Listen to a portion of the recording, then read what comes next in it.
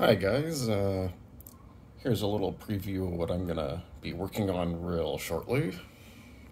As soon as the weather is nice enough for me to go outside so I don't get like metal shavings all over the kitchen table.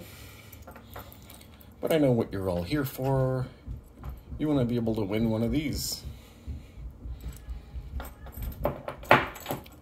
Alright, and so, uh, Mrs. Kraken and I decided to, uh, we want to hear about the story of your uh, username.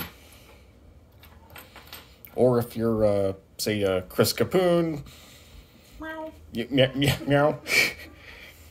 you could just, uh, I don't know, throw throw a lock up in a vise, throw a pick into it, and uh, just use the hashtag of. Uh, I guess everyone needs to, but I know some of you some of you would be able to get away with uh, just using the hashtag, but we would love to hear the origins of your username.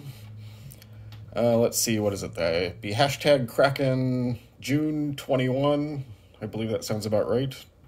I'll have the I'll have the I'll have whatever the correct hashtag is in the video. But this is certainly going to be my next project. I'm going to try to uh, hand engrave a Kraken logo onto this, and. Uh, make some of my own pins. So that, that that's what I'll be doing for a little while instead of picking locks. So anyway, I, this is, uh, I know you're all here for this. Those certainly look lovely. All right, uh, I think that's all I have for you for today because I don't have a lock and a vise, so I can't pad out the video a whole lot.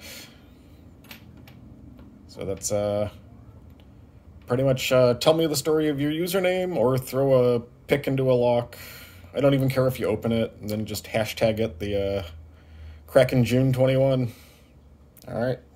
See you guys later. Keep locksport legal and don't be an idiot. All right, so I didn't actually uh, mention how my, my origin was. It was uh, we were playing an online game. I was probably just like Ken something. Uh, actually, I think it was a mo- it was a mobile game, and most of our uh, guild or whatever you want to call it, it depends on games. It's all pretty much the same thing. It's just a group of people.